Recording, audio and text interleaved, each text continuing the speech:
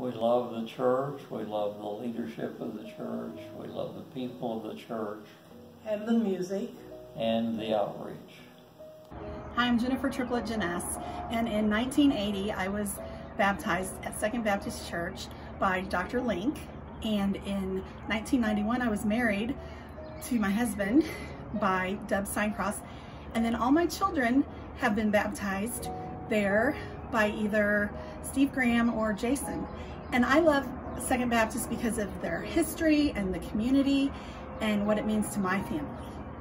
I am grateful for this church, for the profound ways I've experienced God's amazing grace, the ways you all offered such deep spiritual support to me during the loss of my daddy, for the opportunities to serve in ways that have strengthened my spiritual gifts, and for the continuous love, friendship, mentoring, and support that truly has strengthened my faith journey.